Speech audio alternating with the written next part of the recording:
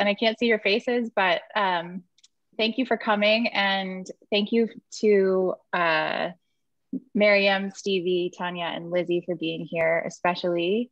Um, uh, Why We Cook is a book that celebrates the achievement of women in food uh, all across the culinary spectrum. And uh, there are over a hundred women contributors in the book, and four of them are right here with us tonight, which is such an honor. And I'm especially happy that these four are here because they were um, some of the first four contributors to join the project.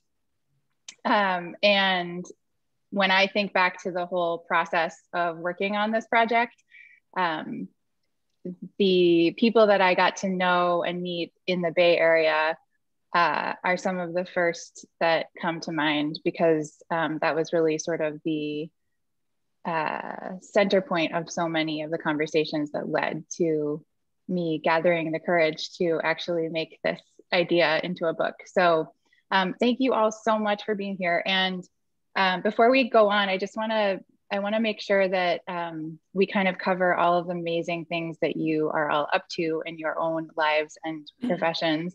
Um, and so before we kind of launch into conversation, I would love it if we could just go around and um, if you'd introduce yourselves. So let's start with Tanya. I'm just looking at my screen. I don't, it's probably different on everybody's screen, but let's go Tanya, Lizzie, Maryam, Stevie. Great. Hi, everyone. Um, Tanya Holland. I am the chef and owner of Brown Sugar Kitchen in Oakland. And um, yeah, really happy to be a part of this project. It's it's just a lovely book, and some of my favorite people are part of it as well. And uh, Lindsay made the the process very pleasant. um, what have I been up to? Um, you know, trying to run my restaurant, try to trying to sustain it um, during the pandemic, and um, I've been fortunate enough to have great support from uh, the community, from investors, and um, you know, we're still here, which is great. And during the course of that, I launched my podcast, Tanya's Table Podcast. Um, it was sort of a TV show treatment in the works. This podcast opportunity opportunity came about just before the pandemic, and then during the pandemic, I was able to access a lot of people that I dreamed of having. Um, they just happen to have more time on their hands. Wonder why. uh, so that's the way that happened, and I had a lot of fun doing that. I love, you know, having uh, intimate conversations with people. Um, and then while I was doing that, I got a request from um, the talent manager at OWN about um, creating a show for them. So we did a seven episode show called Tanya's Kitchen Table and that was really fun. Um, and we don't know about a season two yet, but you know, I'm just happy to have done that. I did Selena Gomez's um, her show on HBO Max, and so a lot of great opportunities happened for me in terms of my own personal, um, you know, media branding, and then with the restaurant, just you know, being able to get that stabilized. And um, I mentioned to um, uh, the rest of the, the panel earlier that I'm planning to open up a cafe in the Oakland Museum of California called Town Fare. It was supposed to open last August and we hope to open it sometime in um, June or July. So I'm really looking forward to that. It's gonna be a very different uh, culinary experience than what I've been doing for the past few years. It's gonna represent the diaspora of Oakland and I hope to invite a lot of my colleagues to do pop-ups and be involved and um, that's that's the bulk of what I'm up to. Oh yes, and working on my third cookbook. uh, just a, yeah, just a few things. yeah, called California Soul. The um, it'll be out next fall. So we are just winding up um, the manuscript and doing the photo shoot in a few weeks, and it's it's great. Wow. Okay, next fall, 2021 or 2022? 2022. Yes. Okay. Thank you. Amazing. Thanks, Tanya. Sure. All right. Lizzie. All right. Am I up? Well, that yeah. was that's quite a tough one to follow, Tanya. um, I am Elizabeth Binder. I'm the chef and owner of Handcrafted Catering, which is a uh, boutique catering company based here in the Napa Valley.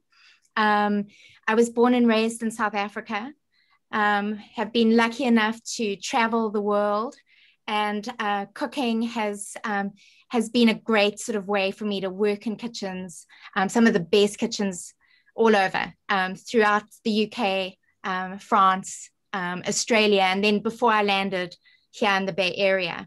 Um, when I first landed here, I was um, introduced to Traci Des Jardins at Jardinière, and I was on her opening team for Jardinière. And um, that kind of introduced me to um, this area and um, and sort of the food industry in, in the States. Um, I went on to open Bar Bambino, uh, which was an award winning restaurant um, based in the Mission District in San Francisco, um, a restaurant that I'm incredibly proud of. Um, before sort of moving up to Napa and opening handcrafted catering. Um, so last year was sort of as we all adjusted and kind of figured ourselves out. Um, you know, we started the year doing these like great South African pop-ups and and sort of, you know, having quite a lot of doing quite a lot of creative fun things and then everything sort of came rolling to a stop. Um, but one of the things that has come out of this past year that i just really value is um, having quality time with my own family. Um, i'm married to a chef and so there's obviously a lot of cooking going on in this house but um, it also we're quite stretched for time and so one of the sort of you know the blessings of this last year has been just that reconnection. Um, and Lindsay, I have loved being part of this book. It was such a beautiful book from the beginning. Um, so oh, thank you for thank including you. me. All your beautiful illustrations and just your generosity um, with your with your beautiful art. So thank you. Thank you so much. Uh, yes, and I have two children and a dog and a cat. very sort of normal household in all the chefing. Do they all love to cook? Um, yeah, I mean they all like good food.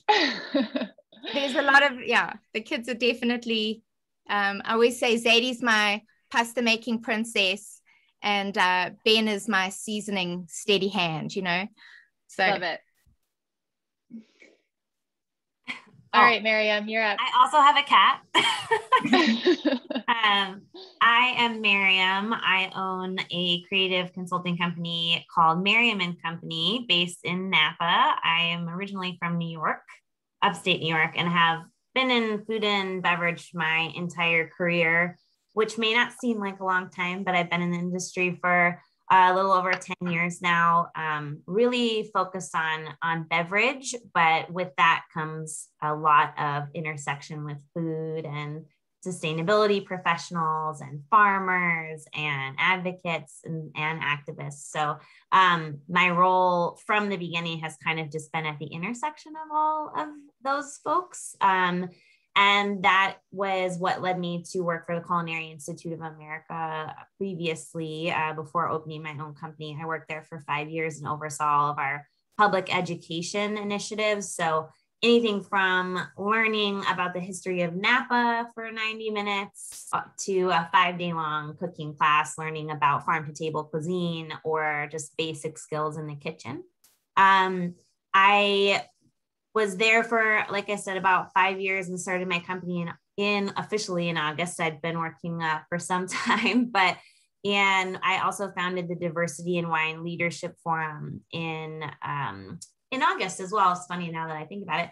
But I had the help of Elaine Chukan Brown in getting that started. And I think we'll probably talk about it later. But the premise was to bring together leaders of organizations in the wine industry, specifically organizations dedicated to diversity and equity within the industry, so that we could facilitate collaborative conversation and creative problem solving and, you know, move everything forward as fast as possible.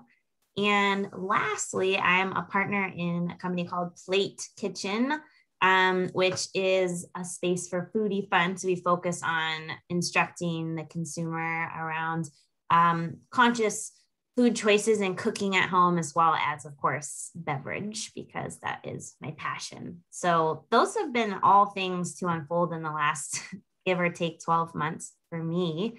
Um, but what I've enjoyed or what I've been able to take, I guess, from the last year is this real sense of community. My previous role, I traveled a lot and I absolutely loved that, but it's been really great to connect with my community in Napa and to watch that community grow.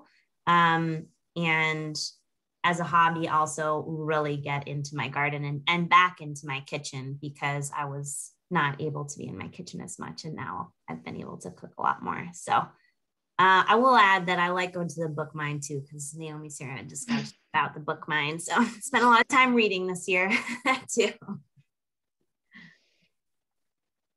Thank you. Um, it's incredible hearing about, I mean, sorry, before we move on to Stevie, uh, it's just kind of incredible to hear the incredible amount of uh, action that's been happening in a really, really challenging time. So, sidebar, let's go on, Stevie. yeah, I have like so much imposter syndrome right now. I mean, you haven't really been uh, resting on your laurels yeah. over there. So let's, yeah I just sell wine and drink it and eat my um, really like it is a huge honor to be here. I still feel like I more and more often am in, invited to sit at a, table with these amazing inspirations like women um, and people that I have long looked up to. I mean, I remember the first time Tanya Holland came into my wine shop and I was like, oh my God. And it, it's quite a, a, huge honor for me to get to sit alongside her and y'all and Lindsay, like what you've done is really, really special. It, it speaks volumes of um, you and your personality and charisma um, that you are able to gather such forces. So I'm really, really um, humbled to be in that presence all that aside, besides selling wine, um, I so I own Bay Grape Wine Shop, which is um, our flagship location is in Oakland, and we have just opened in Napa Valley one month ago. Um, so yeah, during the pandemic, um, I expanded my business, um, which is strange, and we can talk about that more later if you want. But um, uh, that's been very fun, and I pivoted a number of times my restaurant, Mama Oakland, um, and then ultimately made a decision to indefinitely close it and sort of wait and see what God decided was the way for that. And um, we have just made a decision in the last week and a half to reopen. Um, and I'm really excited about that. Um, so we're currently now in basically entirely new like opening mode, um, doing all of the things. And then I also um, founded an organization called uh, Bâtonnage, which was um, created in 2017, sort of um, aftermath of Me Too movement, 2016 election. And really, I just wanted to um, start to have frank, honest conversations about the challenges and opportunities that faced women in the wine industry. So I thought it would be a little small thing and like just a few of us would get together, and it has really bloomed into, um, I think, something pretty profound for our industry and our greater community.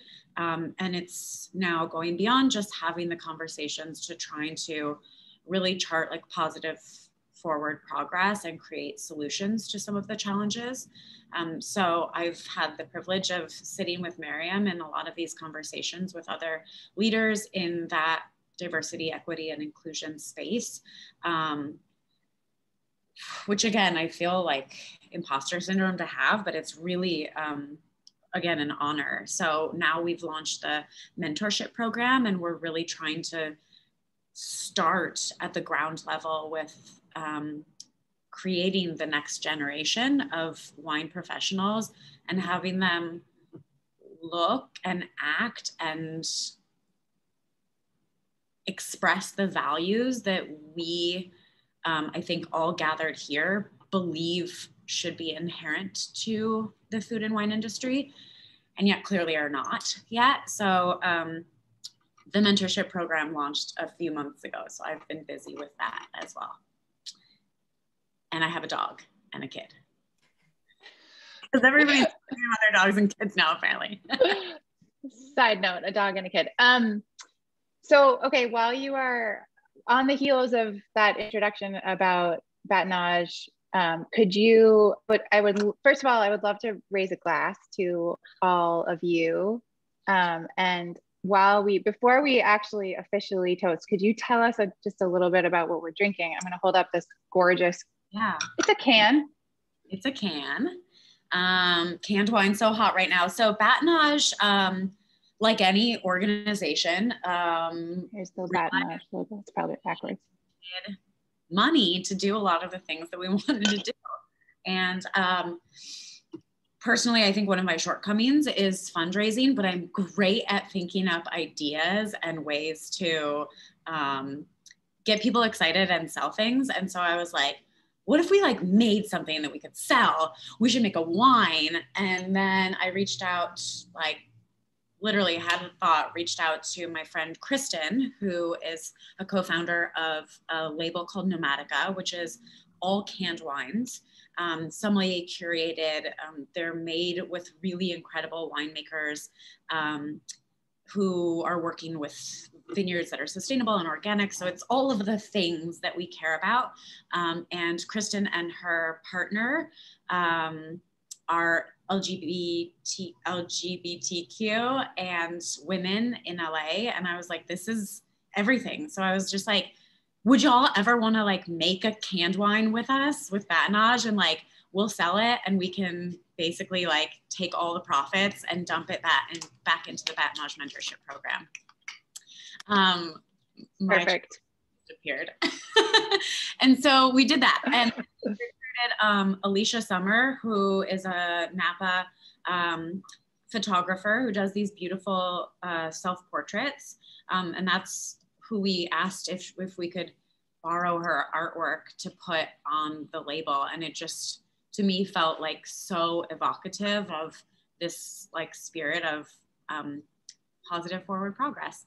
So she made the labels. We're selling them at Bay Grape and a handful of other um, women-owned um, establishments around the country, and everyone that's participating is done. Can I get some? Can I get some? Can I get some to sell? Who's distributing it? Um, so there were a limited batch, and we basically first we asked Nomadica how much they could make and donate, and then we reached out first and foremost to the other um, mentors in the mentorship program. So mostly retailers and then some sommeliers. Sorry, next round for sure. Um, and it's been amazing because I was like, I don't know if anybody is even going to want to do this. It's a big ask in the time of COVID to be like, do you want to just sell product for free?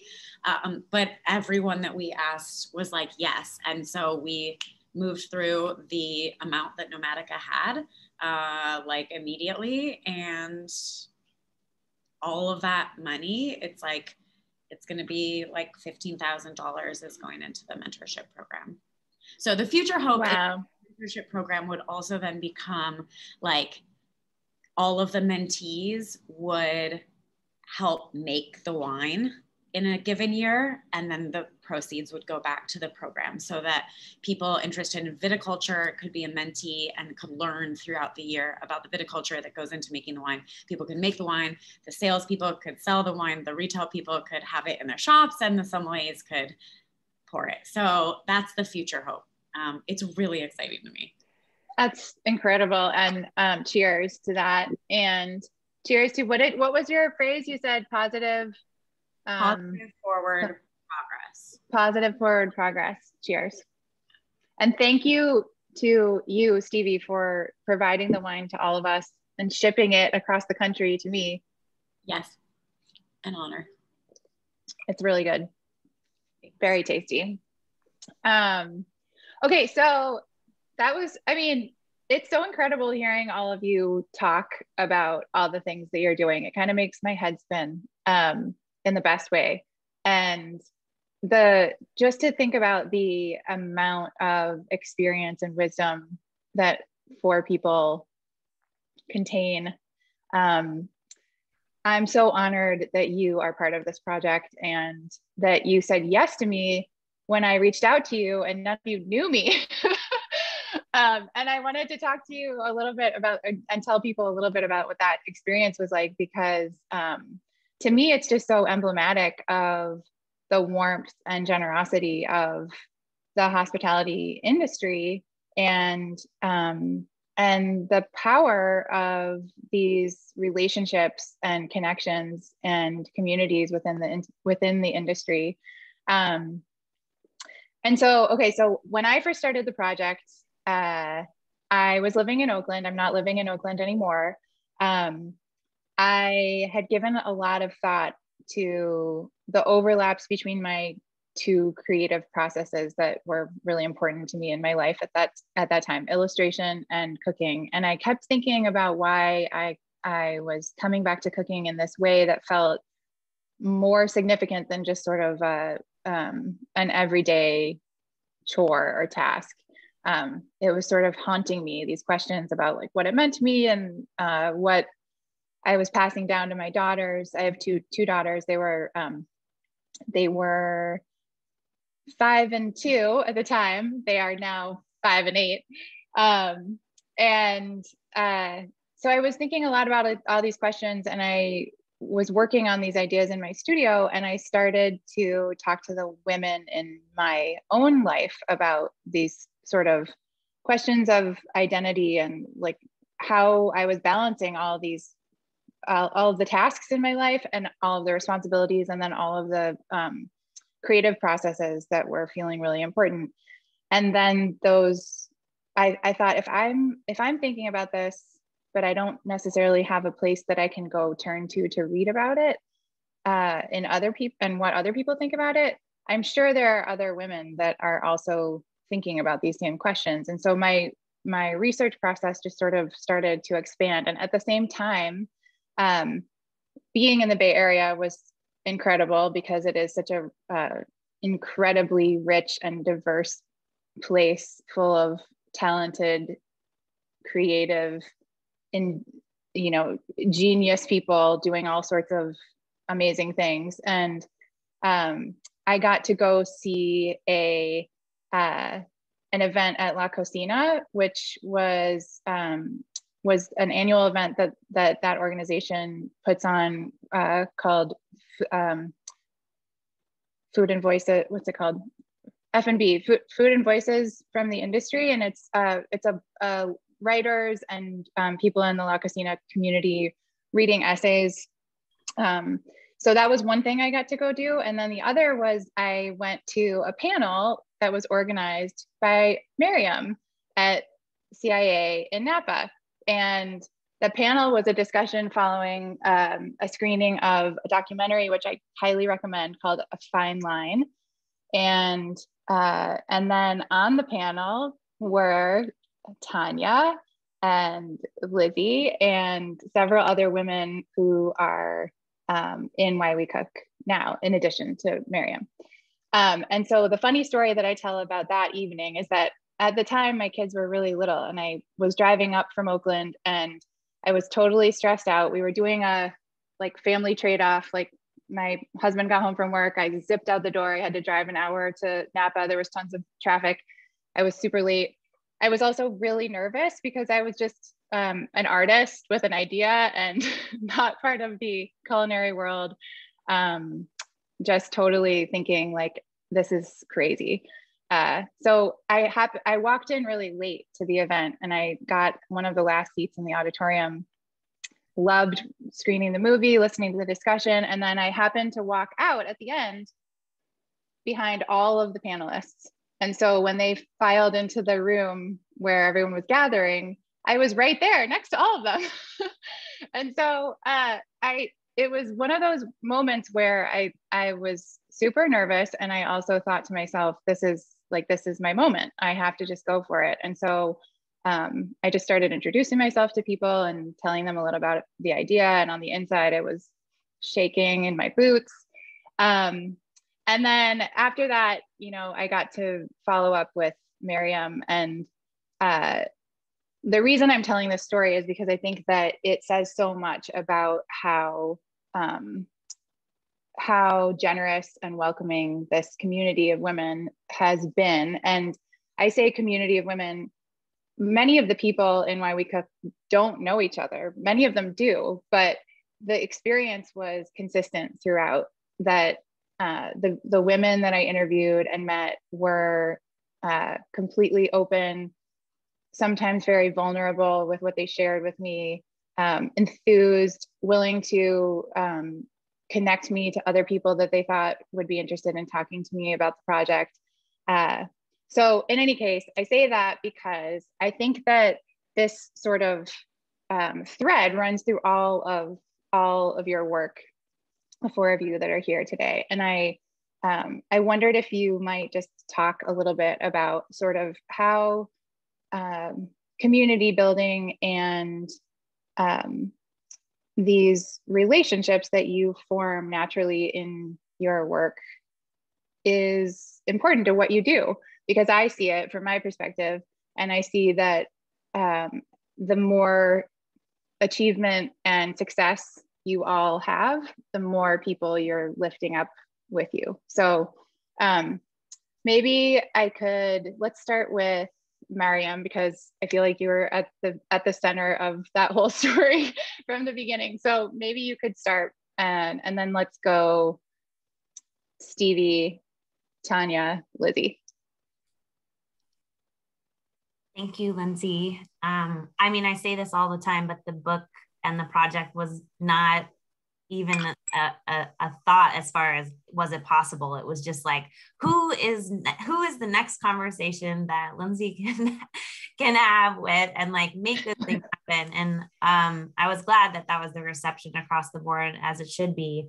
Um for me community it, it's not just the feel good of having support it's also the reward of having the challenge I have women, especially in my life, who help me think bigger, um, who make me dream bigger. I, in my work, I spend a lot of time helping other people get their ideas off the ground.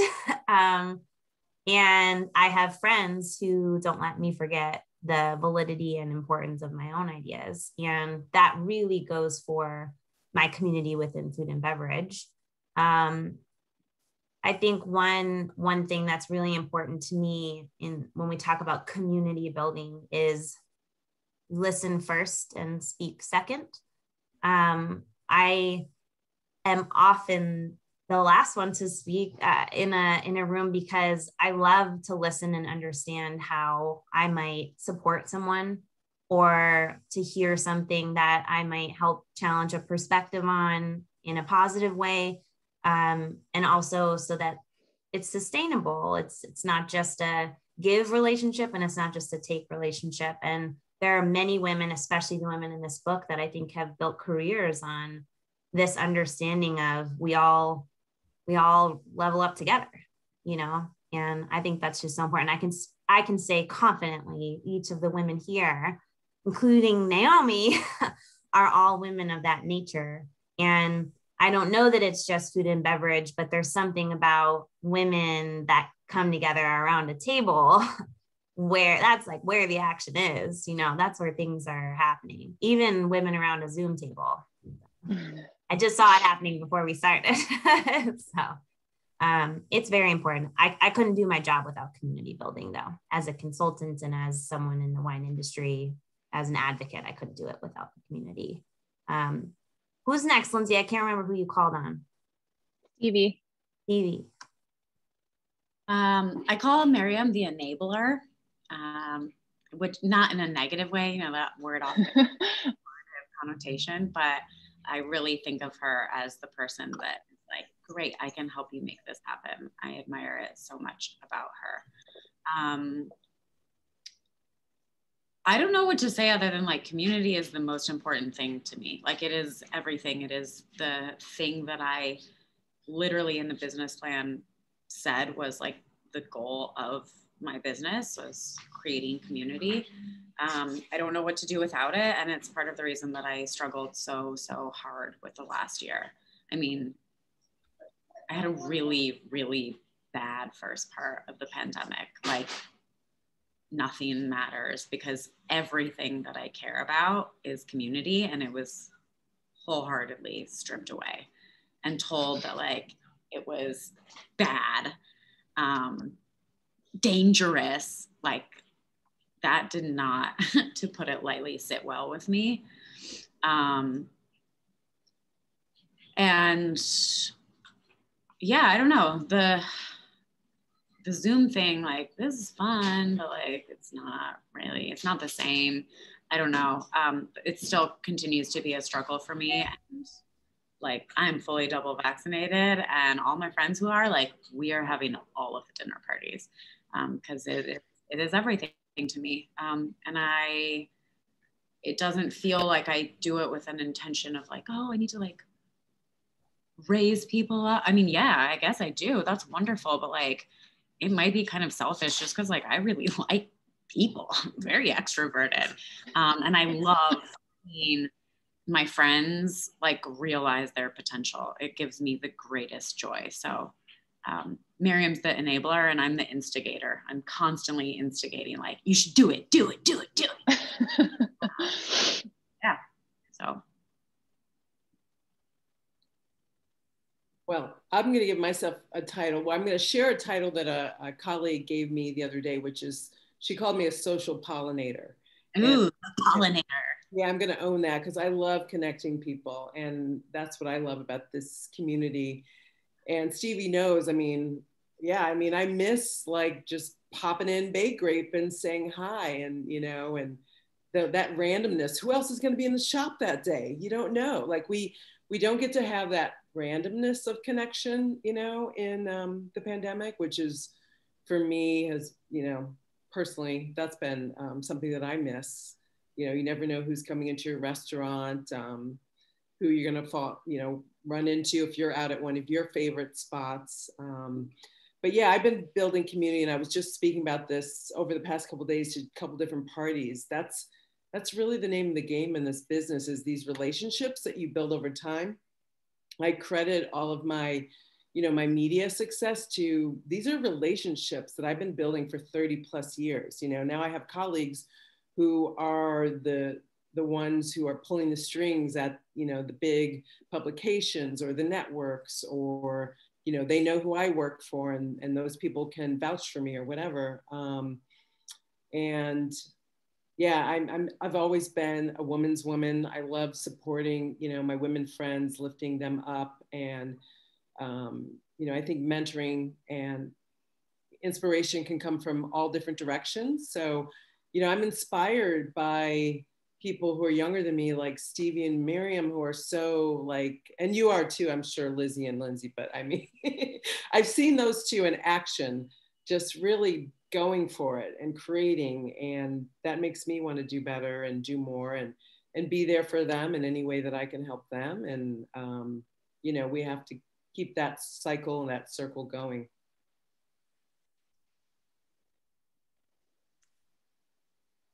Is it me? Um, hi. So um, for me, I, you know, I've never really thought about like um, being specifically like, hey, I'm going to introduce these people because we're in food and we're women. Um, you know, it was just always, it's just always been that way. People were so generous to me when I left South Africa, you know, really young, didn't know anything about the rest of the world, and just wanting to go and cook and um, people and it was mainly women um, who introduced me to other women and maybe they either knew them or they knew of them but made introductions and i feel like you know i got to travel around the whole world and work and and work and cook and you know see and do and it was all because people introduced me to people and i just you know, it's not something I consciously do. I just do it because people have done it for me. And I think it's just, you just do it because it's the, it's the right thing to pass along. You know, I think we all, we all kind of do that. Anyway, I'm very well, grateful. Yeah, I, was, I sorry. Some people are antisocial. You're you're special. I mean, especially after the pandemic, people are like scared and awkward and we need to get back to people feeling like that's an inherent thing and that I do see as part of our job. But Lizzie, I mean, I, I haven't even met you in person and I can already tell like, yeah, you want us. well, I think that's something, I mean, I think, you know, while you all were talking, it's, a, it's, it occurs to me that that's something that is and has been the one of the hardest parts of the last uh, 15 months is that spontaneity that is such a joyful part of hospitality and no matter if you're you know in the back of the house or in the front of the house or um, working in wine or in food what have you i think that um, that generosity and the extrovert part of all of you and the gathering part of all of you has been totally challenged in this time. Um, so i mean not to be a total downer but i did want to talk to you all about how you have um, been persevering through this moment and um, and and what a massive change you have all been through since I first met you in 2018 2019 um, which is I mean it's kind of incredible to think about not just what's happened in your uh, in your professional lives individually, but also what we've all experienced um, communally, go- globally. So um, I just wanted to, before I, I we talk about that, I just wanted to read a couple of quotes that I thought were particularly uh, prescient from what you said to me in uh, interviews for the book about perseverance. And um, this was in 2019, so keep that in mind. Uh, Stevie I, I asked the question was, what obstacles have you overcome to get where you are today? And what have those experiences taught you about perseverance? Stevie, um, this is a part of your quote. You said, basically, the idea is that the approach is yes and. And you said, yes, this is a massive struggle and I can still try again. Yes, these emotions and anxieties feel like too much and I won't stop what I've learned about perseverance is you just do the damn thing. And then, Tanya, your answer to the question was everyone fails. It's the ones who persevere who ultimately win. So, okay, so that was two years ago. And think about what we've been through since then. Um, how have you all pushed through in the last 15 months? How, like, where have you summoned your perseverance from, and um, what have you learned from it, and and what do you want to stick with you from that experience as we move forward? Um, let's start with, uh, let's see, uh, let's see, let's start with Tanya, and then we'll go backwards this time. Tanya, and then Lizzie, and then Stevie, and then Maryam. Yeah, I'm happy to go. Um, I mean, it's it's so amazing. Like, thank you for the gift to have that chronicled because I mean, for me, and I think a lot of us here, type A doers, we're we don't rest on our laurels. We're not looking backwards. We're like moving forward. And I mean, I've lived like three lifetimes since 2019, you know, and um, I would I didn't even have like the failures that I now ha- I have more failures. you know, I closed the ferry building location. Um, I'm terminating a business partnership. Like there's, there, you know, there's just all sorts of stuff. And and I don't. I mean, are they really failures? They're kind of like they're they were learning opportunities. Some of them more expensive than others, which is the unfortunate part. That's where that's where the failure is for me. It's just the expense that I had to learn at and that's where I say to our industry, we have to have more access to information and equity in, you know, in that way so that, you know, and, th- and that's also why I like to share my knowledge because I don't want anyone to have to make the same mistakes that I've made because it's very expensive and not everybody can recover from it. Um, so, you know, for me, I think you know, this question has come up a lot recently, and I just like I have my eye on the prize. I have a vision, and I believe in myself. And even though I have moments where I'm just like, I just am ready to move to Maui and open a fish shack. Um, I think about, I look around the industry and I don't see enough people looking like me doing what I aspire to do. And I know that I'm so close that I got to keep doing it for the culture and for the community. And, you know, not to, not in a, you know, um, to be a martyr, but in a way that just to continue to open a door um, and to leave some kind of legacy. I don't have kids, I don't have dogs, so my legacy is going to be left to you know whoever's in this industry um, after me um, who you know gets to see someone who looks like them doing what they you know they want to do and like i said i've been fortunate to have a lot of support around that vision and that has also helped lift me up but um, as i'm sure you all know when you are the uh, the founder of your organization or whatever you're doing it, it's lonely at the top. And so it definitely you know it's it's challenging. And yeah covid and all the isolation has um, you know we don't get that immediate gratification that we used to always get with like guests coming in like oh that was yummy you know they're taking it home. And yeah they're posting and they're saying stuff but it's not the same of you know that's where I, I find, for me, I find my joy less in cooking and more in hospitality. I really just love um, providing an experience for people that's memorable and um, just, you know, paying attention to all those different details that create that experience. Thank you, Tanya. Um, I don't, I don't really have anything profound to say, um, but I, I just, for me, it's just like, do what you can do, you know, like it's whatever I could do. I know, you know, I'm going to do what I can do, like just get through this. You know, it's not, you know, not always grand. It's not always, you know, big, but you just kind of, you just make it happen. And for me, it's the most important thing is this little family, you know, they've just, they've all got to get through this too. And for me, that's been a huge, this last year has been really, really more about them than than my business you know?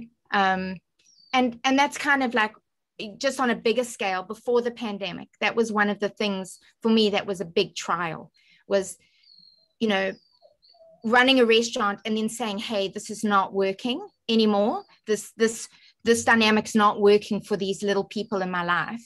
I need to figure something another way out another way to do what i love and still contribute financially but be able to be there for them. And so you know you just you find a way.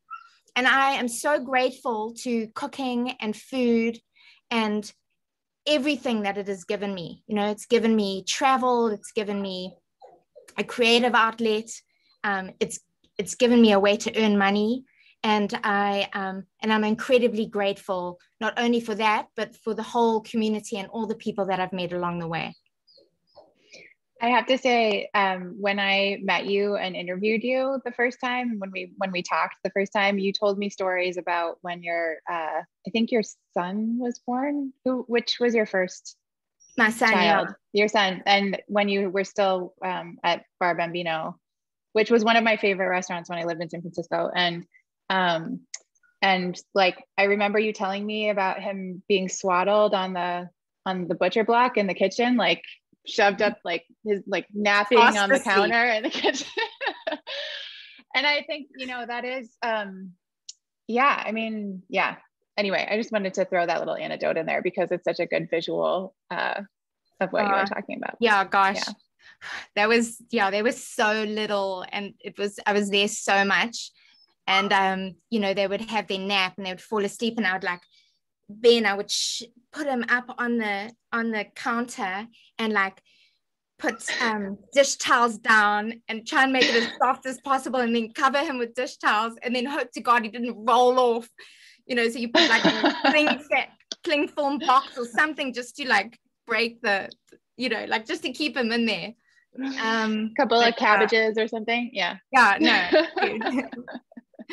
a lot of uh, there was a lot um, of that, um, or sticking them in the um in the uh, you know the sink because it was like containable, you know. So he would just be in the big vegetable sink, but in the pantry in the pastry section but he was like contained. So the pastry she was the the girl in the pastry department she would be making all the cakes and feeding him like dried fruit and he would be like couldn't couldn't get out you know? He was like stuck.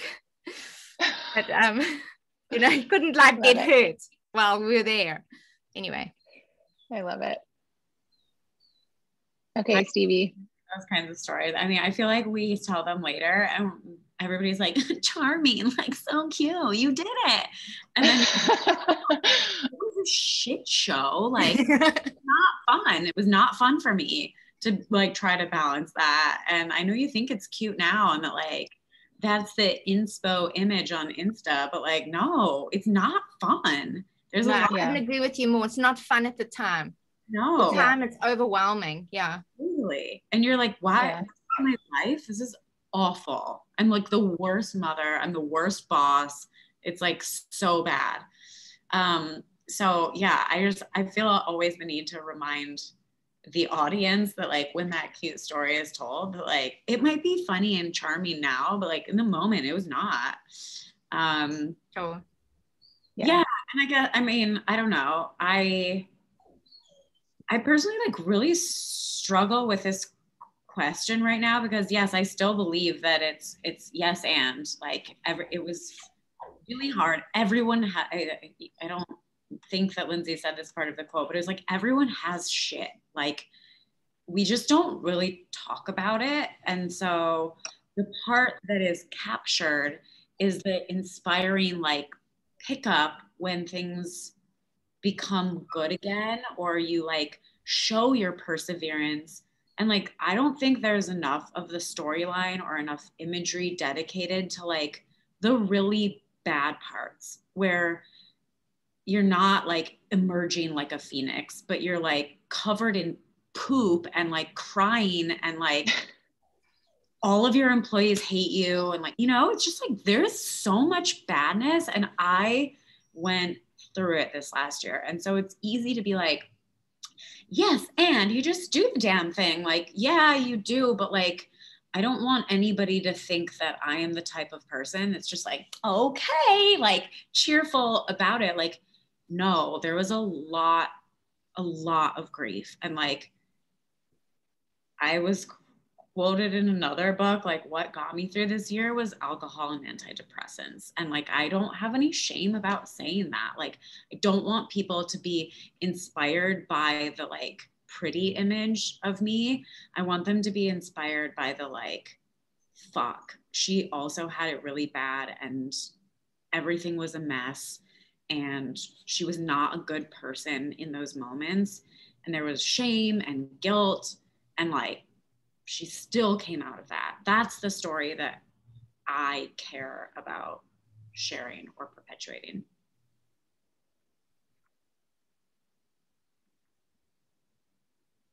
Yeah.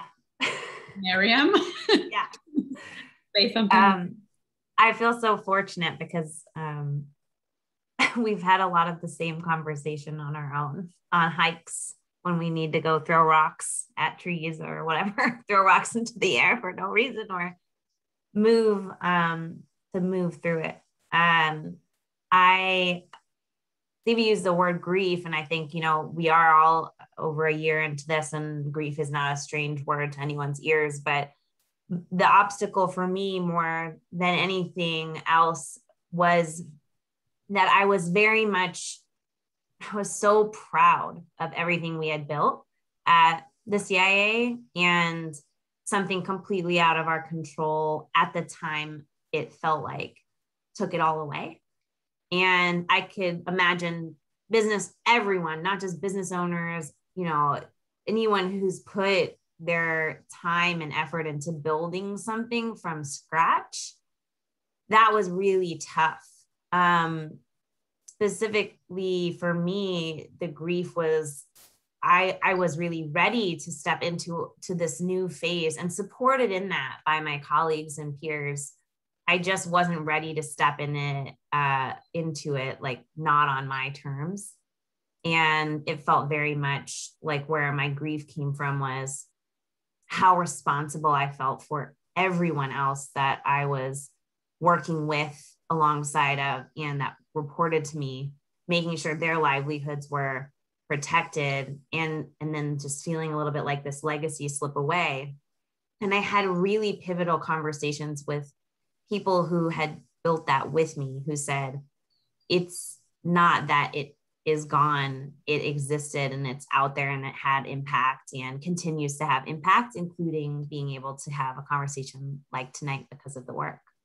Um, so it took, it's not, grief isn't a straight line. Um, but I think the obstacle for me was coming to terms um, and, and, and coming to terms with everyone's challenges too at the same time. Um, but what I got out of it was similar to what Tanya said, yes, there have been like trials and errors for sure, but this sort of like ingenuity around situation.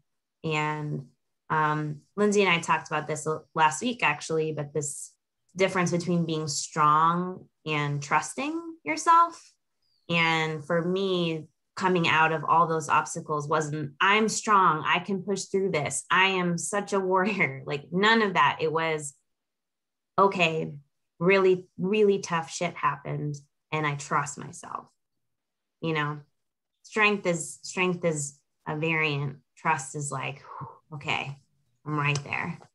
Um, so obstacles, but this like inherent new trust in in in myself, but in my community too. Um, that's a perfect segue for and um, Naomi. Tell me if we're running out of time, but I there, we could just keep talking all night. But I um, I wanted to ask you all a little bit about what is giving you hope right now. On the other hand of that same question, which is you started to talk about this. Um, you know a little bit about what you've learned through the experience and sort of what's changed since we since we first met but as you look forward um, what what gives you hope in this moment and what is making you feel inspired and um, and as you look to the horizon i guess uh, mm-hmm. Maryam let's go backwards um, what's giving me hope tanya's opening a new restaurant and Stevie opened a new wine and I'm working on an event with Lizzie again and I get to like be part of these conversations and we're all here. I, I mean, what is hopeful about that? Um, I will also say day to day, getting my hands in the dirt and working in my garden gives me hope. This keeps me really, really focused on the things that are important and the things that ground me, no pun intended, but pun intended. um, I helped plant your garden there. um, so I, w- I could be cheeky and I could say alcohol and antidepressants, but, but beyond that, um, dinner parties. Um, as I mentioned to the rest of the panel just before we actually jumped online, like we got to have one last night. It's a whole group of fully vaccinated people in Napa outside. It was a glorious evening. It was like filled with what I see as the best and brightest, most genuine, exciting, inspiring, humble, diverse people in the Napa Valley.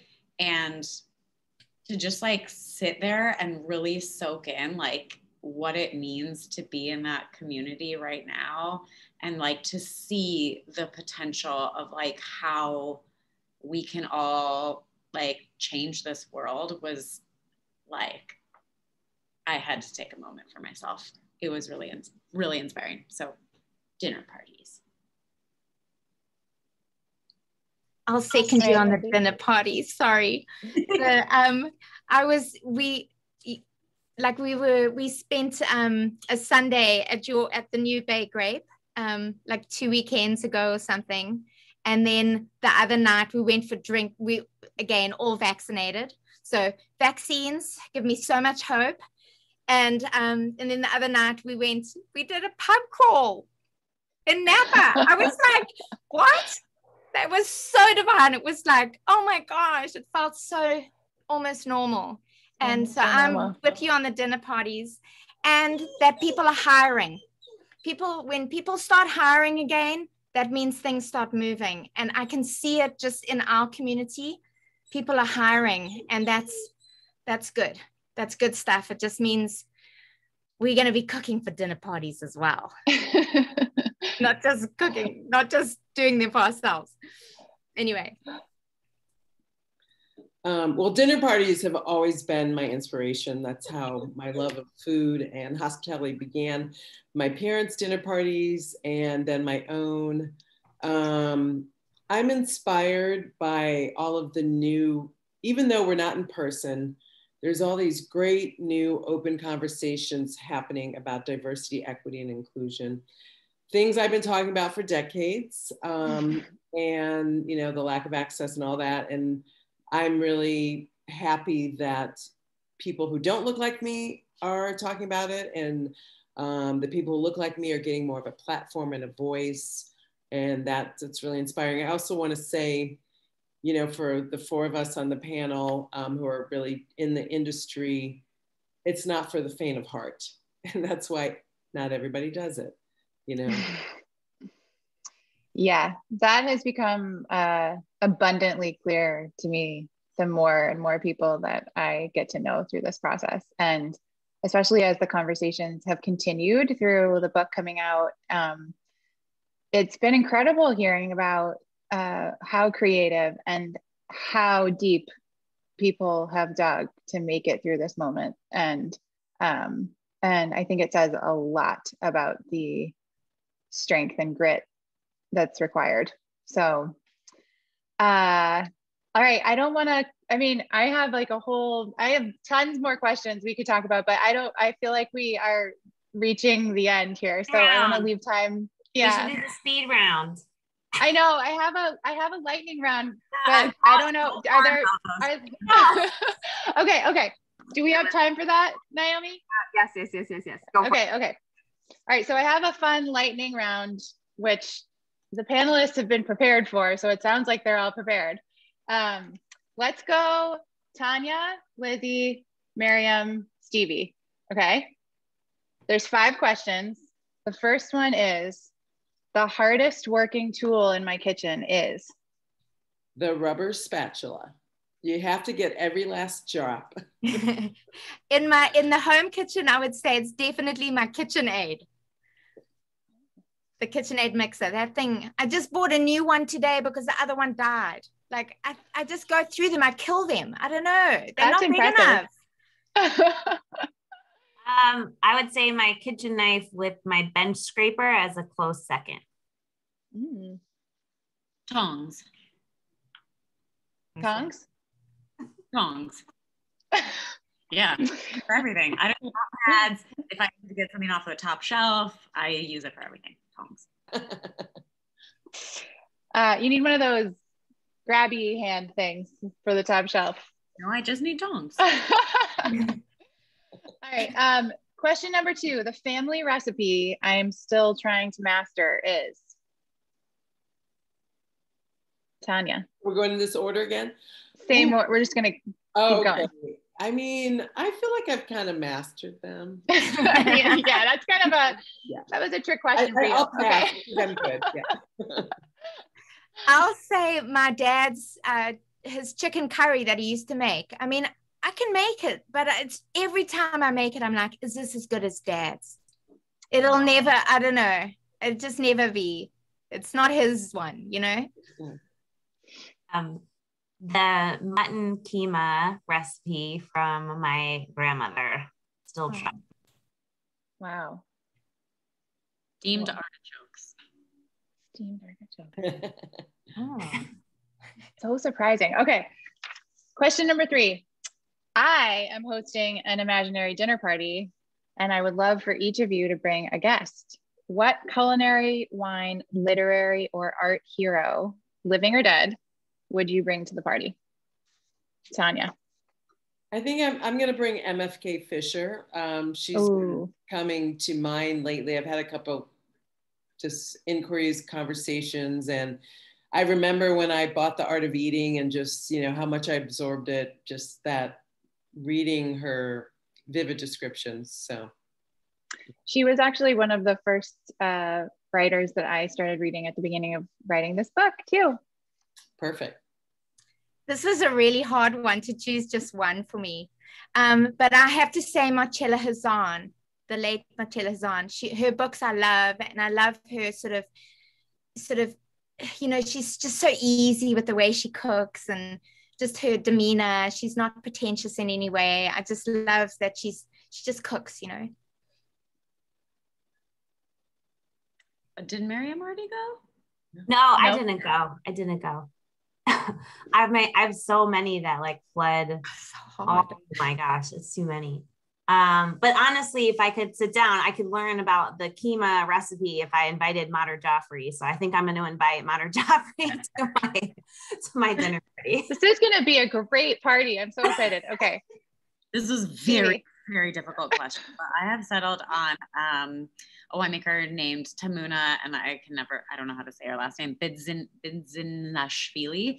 She is a Georgian young woman winemaker who makes like some of the most profound wines that I've had in my career. And I just got turned on to her and um, everything about her culture, her winemaking, and her approach to her products are incredibly inspiring and I want to be her friend. Can't, I mean, we really could throw a great party. Um, okay, last question. Number four, you'd be surprised to know that I sometimes drink blank. Oh, yikes. Oh, Um, I'll go. Okay. I can down like an ice cold beer. Like if I'm really thirsty, it's like the best thing ever. Full circle to the pub crawl, the No, no. aforementioned pub And I don't really drink beer, but if I'm really thirsty, an ice cold beer, like just chug it, so delicious. okay, Tanya. I mean, I basically drink water and wine, so I can't, I can't really think of anything that would surprise anyone. I don't. Um, You don't drink like your gravy from time to time, just I mean, I would. yeah, I'm looking around. I'm trying to think. Oh, yeah, it's the Bloody Mary on Sunday morning. It's like apple cider really early or something. vinegar. Apple cider vinegar. You know, I start the morning with a tablespoon of that. Oh, wow, That's that it. is hard. That's hardcore. Supposed to like, be good for you. I don't know. Yeah. I'm like a, a big fermentation fan. So um, I think maybe it would be surprising, but I'm not really sure that I do pickle backs from time to time if, if in the right mood. So wow. Wow. but I made the pickle juice myself. wine industry professionals and sommeliers um, are disappointed to know that I love New Zealand Sauvignon Blanc. Oh, shame, shame, shame. Ah, Let me okay, tell that was, a that was glass it of for the New- lightning. A glass of New Zealand Sauvignon Blanc once saved my life in an airport when I got stuck for like Same. forever. And I was like, oh, It is the go. Kim Crawford, I love you today. Kim Crawford is the go-to wine whenever there's not really wine. And then You the guy, the gentleman first. who was kind enough to get it, he was, I was, I took a sip because I was just, just something white. I took a sip. Oh, I was like, oh, Kim Crawford. And he goes, oh, how did you know? And I was like, everyone knows. Uh, oh my gosh. Well, thank you for indulging that um, lightning round. That was really fun. Back to Naomi. Uh, I got some here. Any more, any more questions that, that you have, Lindsay? I mean, I think we have a rapt audience, but we can also move on to Q&A. Um, no, I mean, I think I think I'm good. If there are audience questions, I'd love to hear them. Cool. Um, if you have a question, you can totally unmute yourself and just start talking, um, or you can type it into the chat box and I'll read it out loud.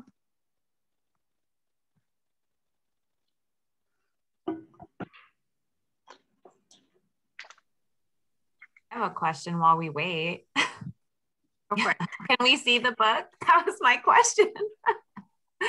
yeah. yeah. This is the book. Yeah. Actually, thank you for bringing that up because I did I did earmark your pages.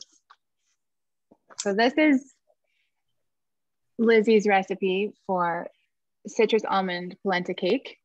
And these um, plates that I illustrated are from all the generations of women in her family. And the cake is delicious. I love those and, illustrations so much, Lindsay. It's just so oh, beautiful. Good. Those plates were so fun to look at. Um, and then here's my portrait of Tanya in her kitchen yeah. at uh, at Brown Sugar Kitchen. So good. So it's lovely. Looking fierce. For you. So as a sometimes writer, you know, you hit like like writer's block. Like, did you hit painter's block with particular stories or chefs or like where you were like, I can't quite figure out what to paint or this isn't evoking what I want it to. Is that a thing? Yeah, totally. Um, also, that's an interesting question because um, I didn't even really realize this until I started talking about the book when it came out in early March. But uh, I mean, I did, but I hadn't really said it out loud that I painted all of the, the illustrations um, I would say 90% of the illustrations were painted during lockdown. So um, I had sketched the whole book. Like the whole book was already sketched because that was part of the process of designing it and laying up, laying it out with all of the um, all of the text and the manuscript. Um, so I knew what the general direction was, but of course, taking something from sketch to painting is uh, a process in and of itself. And then doing it um, when school has been canceled in the middle of a global pandemic is a whole nother thing. So, um, you know, it was, it was really interesting. It was, um, of course I had those moments, but many times that I was painting, it just felt like solace, honestly. Like I had spent so much time with each of these stories and um, all of the words and parsing every every detail. I don't know if my I I think my editor Rachel might be here tonight. If you are with Rachel um, from Workman, and um, I you know we hi Rachel. uh, it was such a such a detailed process and I was learning so much the whole time and um, getting to the final illustration stage was such a joy. It was like, it was like the icing on the cake or, you know, whatever cooking analogy you want to insert here.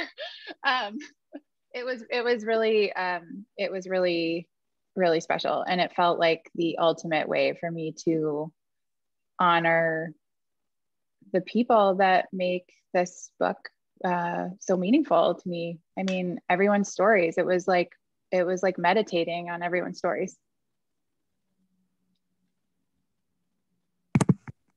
Great job. Thanks. Any other questions? Else out there? Do you want to know where you can buy it from Napa Bookmine? um, why I don't have a copy with me because they were sell- they are selling so well. You will be happy. Oh, there are wonderful. Like three or three copies left, so I just didn't want to like take it in case um, people were gonna want it tonight, you know.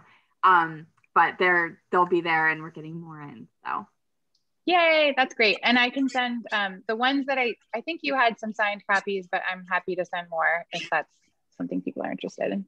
Oh, nice, awesome. Yeah, yeah, yeah. Just let us know. We'll connect all that.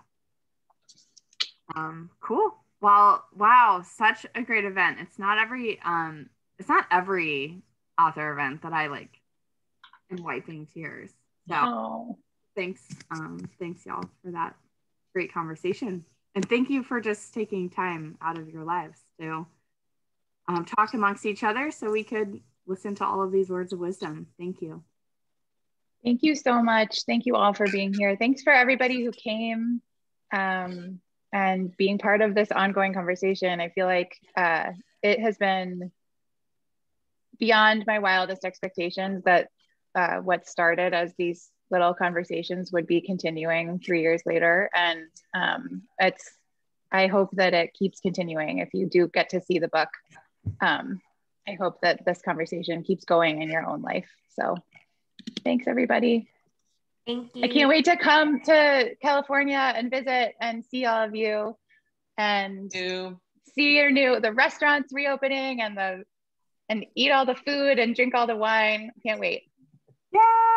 Pub crawl. Pub crawl. On our um, YouTube channel, um, probably tomorrow, the next day. So yeah, look out for awesome. Thank you so much. All right. Send us. Bye so- everybody. Thank you, everyone. Yeah, bye.